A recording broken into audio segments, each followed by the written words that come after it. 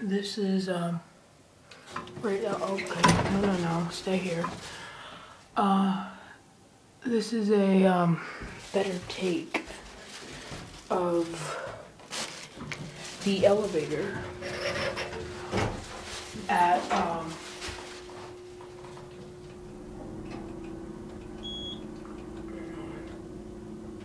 listen to it.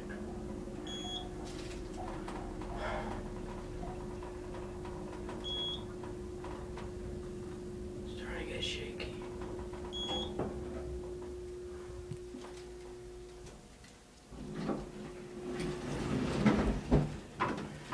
All right. Um, this is better take of the elevator here at 198 Allendale Road, King of Prussia, PA. It's right across the street from the pavilion at King of Prussia. It's sort of, it's like uh, next door to the, um, sort of next door to the Rochester Big and Tall and the Courtside Square Shopping Center. Let's get quick cab view.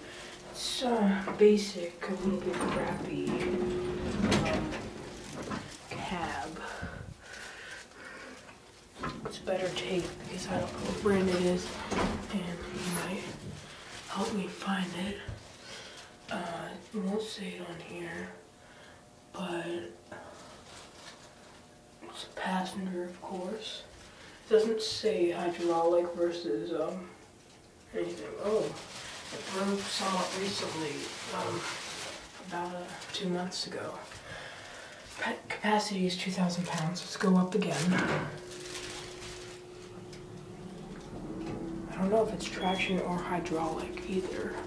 So can you comment on that too? I know Delgado, you want to see the um, interlock, so I'll show you that when we get up to four. Oh, it doesn't have enough light on four. Show it like.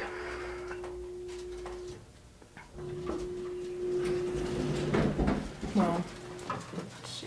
No, not enough light. Well, is there a light switch? There's a light switch. I'm not gonna hit it. I'll just get an, another one on G.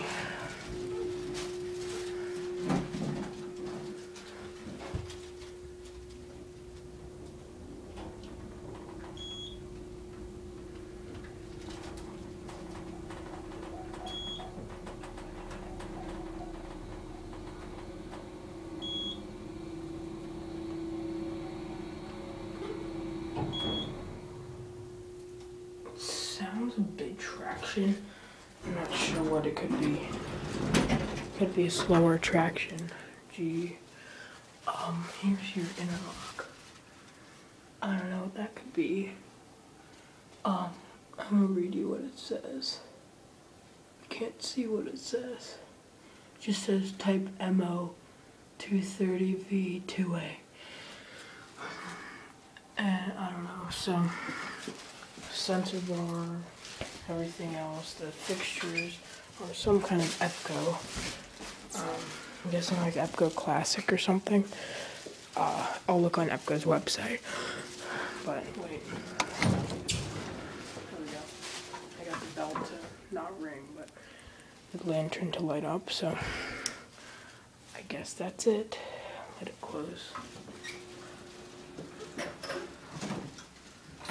And that is it.